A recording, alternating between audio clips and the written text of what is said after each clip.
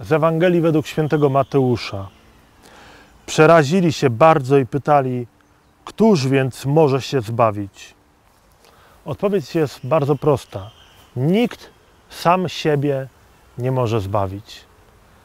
Jeżeli będziesz próbował sam siebie zbawić, możesz tylko osiągnąć potępienie.